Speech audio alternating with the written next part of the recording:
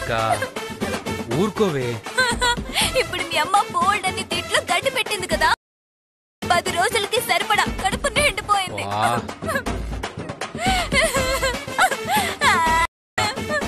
నా మాట విను పద. ఒక్క రోజు తినకపోతే నేనేం చచ్చిపోనులే. రోజు మీ అమ్మతో మాటలు పడుతూ అవమానపడి చచ్చే కంటే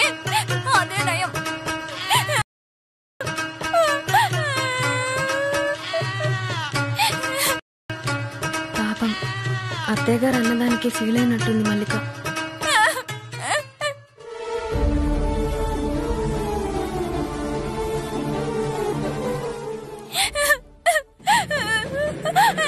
అరే ఏంటి మల్లిక నువ్వు? అయినా అమ్మ నేను కోపడ్డం నీకు కొత్త కాదు కదా? మరేదో మొదటిసారి తిట్టినట్టు అంతగా బాధపడుతున్నావేంటి మల్లిక?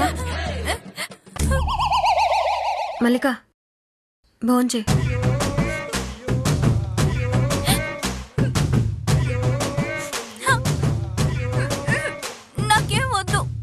మల్లిక ఈ ఇంటికి నువ్వు కోడలుగా వచ్చి మూడు సంవత్సరాలు అవుతుంది. అత్తయ్య గారి మనస్తత్వం ఏంటన్నది నీకు అర్థమై ఉంటుంది. ఇంట్లో వాళ్ళందరూ క్రమశిక్షణగా ఉండాలి. నడుచుకోవాలని అత్తయ్యగారు కోరుకుంటారు. అందుకు భిన్నంగా ఎవరైనా ప్రవర్తిస్తే కాస్త కోప్పడతారు. ఆ కోపం కూడా ప్రేమే తప్ప ద్వేషం కాదు మల్లిక. మన అమ్మ మనకి పద్ధతులు చెప్తే అర్థం చేసుకుంటాం గాని అలుగుతామా చెప్పు? తీసుకో. తిను.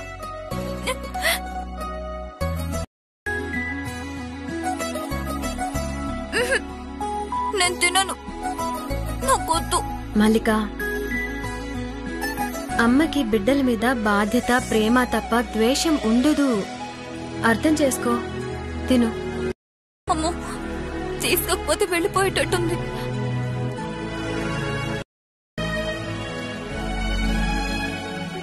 చూడు జానకి నా మనసుకి చాలా బాధగా ఉంది.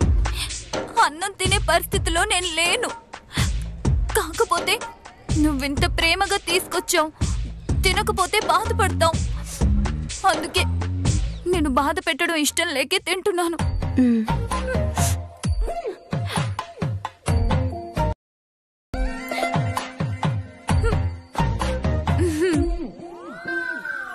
అన్నం కూరలు ఇంకా ఉన్నాయి. కావాలంటే పెట్టుకో. సరేనా? అర్థమైంది. నేను ఉప్పు కారం కలిపిన కూరలు వేరు ఇవి వేరు. అంటే మధ్యలో ఏదో జరిగింది. మల్లిక. ఒక పెద్ద డౌట్ ఉంది. కాస్త క్లారిటీ వచ్చాక అప్పుడు చెప్తాను.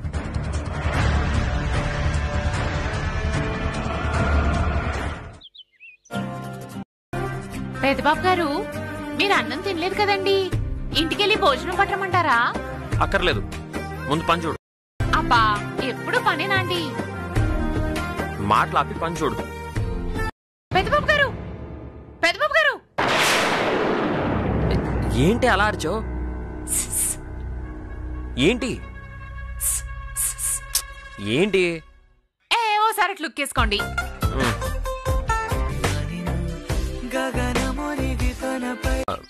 మీరెందుకండి ఇంత ఎండలో వచ్చారు?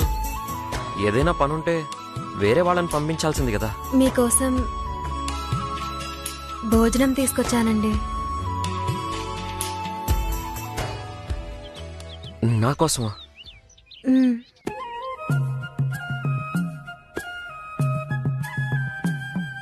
పెద్దబాబు గారు అప్పుడెప్పుడో ఆ అబ్బాయి గారి సినిమాలో వెంకటేష్కి మీనా భోజనం పట్టుకొచ్చే సీన్ చూసానండి.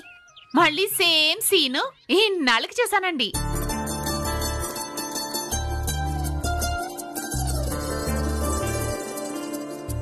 మీరేమనుకోనంటే ఇంకో డైలాగ్ చెప్తానండి. అనుకున్నా నువ్వు చెప్పకుండా ఉండవు కదా? చెప్పు. ఏం లేదండి. సాధారణంగా భార్య జేబు చూస్తుంది ఆ అమ్మ కడుపు చూస్తుంది అంటారు కదండి. కానీ మీ విషయంలో ఇద్దరు కడుపే చూస్తారని అర్థమైపోయిందండి. సింగిల్ డైలాగ్లో చెప్పాలంటే మిమ్మల్ని ఇంతగా ప్రేమించే భార్య దొరకడం నిజంగా మీ అదృష్టం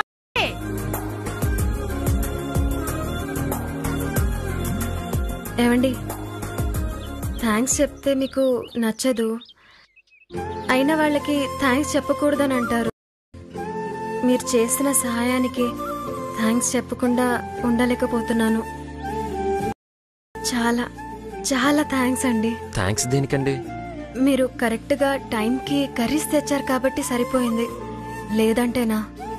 నేను చేసిన వంట తిని నీకు వంట చేయడం కూడా రాదా అని అత్తయ్య గారు నా మీద మండిపడి ఉండేవారు. మామూలుగా కాదండి. అగ్నిపర్వతం బద్దలయ్యే రేంజ్లో.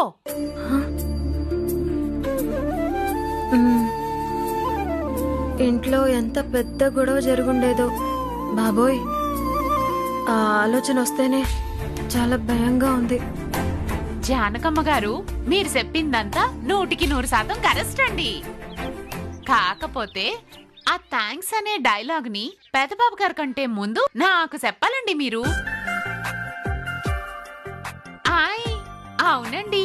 ఎందుకంటే నేను పెదబాబు గారికి క్యారేజ్ పట్టుకురాబట్టే దాన్ని పెదబాబు గారు తినబట్టే కూరలు బాగాలేవన్న విషయం తెలిసిందండి. మేఘాల మీద పెదబాబు గారు కర్రీస్ అట్టుకొచ్చి మిమ్మల్ని వర్రీస్ నుంచి కాపాడింది. వద్దులేండి. మీ ఇంటి స్వీట్లు హాట్లు తిని బతుకుతున్నాను కదండి. మీతో థ్యాంక్స్ చెప్పించుకోవడం పద్ధతి కాదండి. వద్దు వద్దులేండి. నువ్వు చాలా గమ్మత్తుగా మాట్లాడతావే. అది గమ్మత్ కాదండి? తిక్క. కానీ ఆ తిక్కకి ఓ లెక్క ఉంటదండి.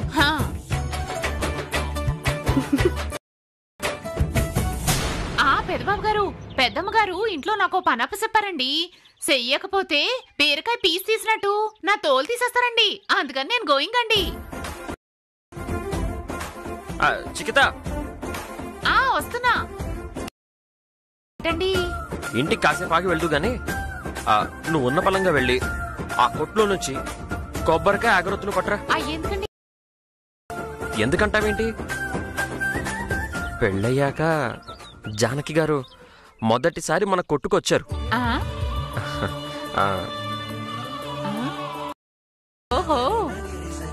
దేవుడి దగ్గర అగరొత్తులు వెలిగించి కొబ్బరికాయ కొట్టి పూజ చేయాలి కదా. గారు భార్యని ఎంత బాగా చూసుకోవాలో మిమ్మల్ని చూసి నేర్చుకోవాలండి. శ్రీమతికి తగు సేవలు చేయని ఈ శ్రీవారు డించికి డించి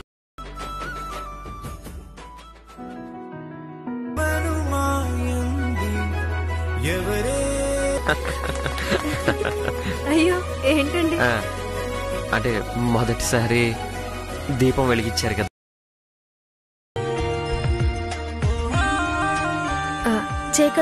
రండి. కాదండి మీకు వంట రాదన్న విషయం నాకు చెప్పాల్సింది కదా. అమ్మ కోపడుతుందని తెలిసి కూడా ఎందుకంత సాహసం చేశారు చెప్పండి. వంట చేయమని సడన్గా చెప్పేసరికి నాకేం చేయాలో అర్థం కాలేదండి. ఏదో మేనేజ్ చేద్దాం అనుకున్నాను కానీ అంత భయంకరంగా అవుతుందని అనుకోలేదండి. తినండి. అబ్బా సర్లేండి. గండం గట్టెక్కింది కదా. భయపడతారు? ప్రశాంతంగా ఉండండి. అసలు గండం ఇక్కడ నుంచే మొదలవబోతుందండి. ఏంటండి? మీరు తీసుకొచ్చిన కూరల్లో కాకరకాయ వేపుడు అత్తయ్య గారికి బాగా నచ్చిందండి. రెండు మూడు రోజులకు ఒకసారి తప్పకుండా. కాకరకాయ వేపుడు చేయమని చెప్పారు. నాకేమో పచ్చిమిరపకాయలు వేపుకోవడమే సరిగ్గా రాదు. ఇంకా కాకరకాయలు ఎలా వేపుతానో చెప్పండి. ఇదా మీ భయం. ఇంత చిన్న విషయానికే అంత కంగారు పడతారేంటండి? అర్థం లేకుండా. చిన్న విషయమా? మరి కాకపోతే ఏంటండి? నేనుండగా మీకెందుకంత చింత ఈ కాకరకాయలు వేపించడం. బ్రహ్మాండంగా వచ్చు. మీకు కూడా నేర్పిస్తాను అద్భుతంగా వండేయండి. అమ్మ మనసు గెలుచుకోండి. ఆ? నిజంగా? ఆ? థ్యాంక్స్ అండి. Thank you so much. పర్లేదు తినండి. ఈ కూర వేసుకోండి. అబ్బా! చెప్పిందే చెప్తావేంటమ్మా? అత్త మాట వినాలి అంట్లు బాగా తోమాలి. అంతే కదా?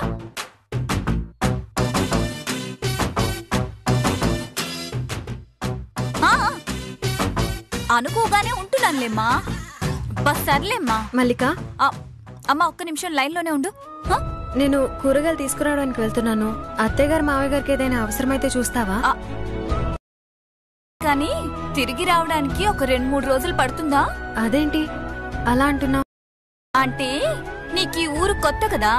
కూరగాయల కొట్టు ఎక్కడుందో తెలుసుకొని తెచ్చేసరికి అంత టైం పడుతుంటున్నాను షాప్ ఎక్కడుందో తెలుసు. ఆయనకి భోజనం ఇవ్వడానికి వెళ్ళినప్పుడు చూశాను. అవును. హ.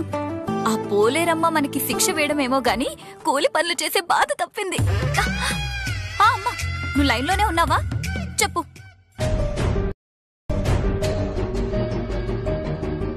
అమ్మాయి ఇదిగో అమ్మాయి. చెప్పండి పెద్దమ్మా. అమ్మా నీకు ఇంగ్లీష్ చదవటం వచ్చు పెద్దమ్మా చెప్పండి. సరే అమ్మా ఆహా, ఉత్తరం వచ్చిందమ్మా. ఆ వంకాయమ్మతో ఏం మాట్లాడుతుందబ్బా జానికి? అమ్మా నేను తర్వాత చేస్తానుండు ఇంగ్లీష్లో ఉంది. ఎవరిని అడిగినా తెలియదు అంటున్నారు ఇదిగో అమ్మా. ఆ, ఆ ఇంగ్లీష్ ముక్కలేవో. కాస్త చదివి చెప్పమ్మా. అలాగే.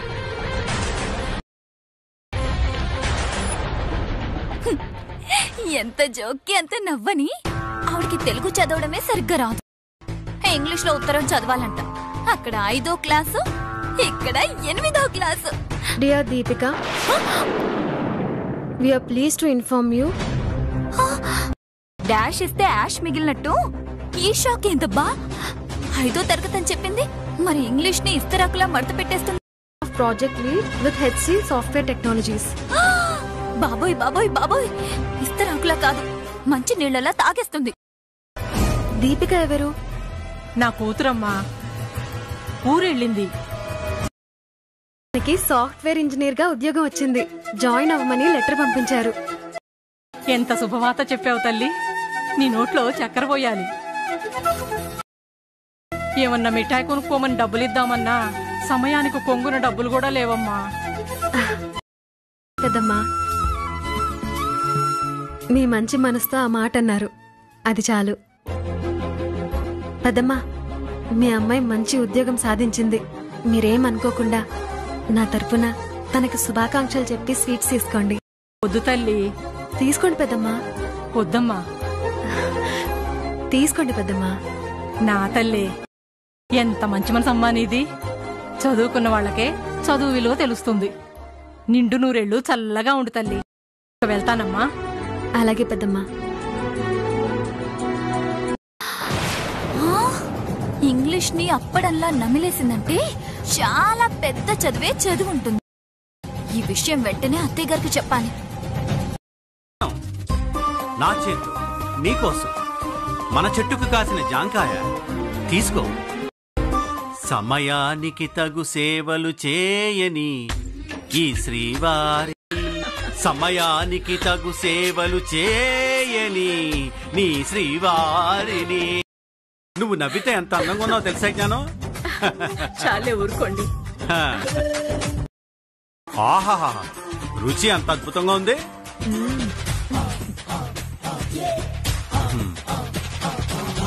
రుచి అంటే గుర్తొచ్చింది.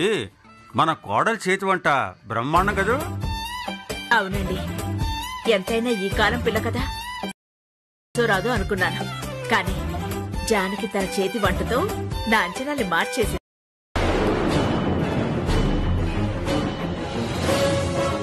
అత్తయ్య గారు? జానకి జానకి! నువ్వు ఇంగ్లీష్ ఉత్తరాన్ని చదివావా? ఆ వెంకాయమ్మ ఇచ్చిన ఇంగ్లీష్ ఉత్తరాన్ని నువ్వు చదివావా? చెప్పు. నిజమే అత్తయ్య గారు. చ- చదివాను.